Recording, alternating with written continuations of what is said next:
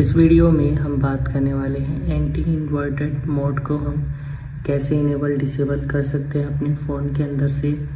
ये मैं आपको बताने वाला हूँ। ये फीचर हमें मिलता का है? चूँकि हमें यहाँ पर सिस्टम नेविगेशन से जो है प्रिवेंटेड एक्सीडेंटल एग्ज़िट देता है गेम से।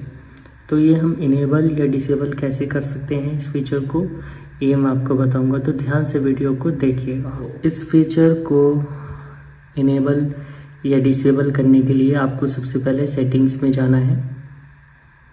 सेटिंग्स में जाने के बाद यहाँ पर आपको क्या करना है कि नीचे की ओर जाना है। और जब यहाँ पर आप नीचे की ओर जाएँगे तो यहाँ पर आपको स्पेशल फ़ंक्शंस दिखाई देंगे। तो स्पेशल फ़ंक्शंस पर आपको जाना है। उसके बाद यहाँ पर आपको दिखाई दे जाता है यहाँ पर गेम मोड गेम मोड पर जाना है।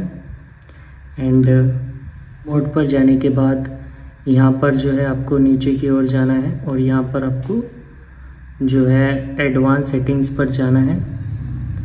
एडवांस सेटिंग्स पर जाने के बाद यहाँ पर एंटी इन्वर्टेंट मोड दिख जाता है।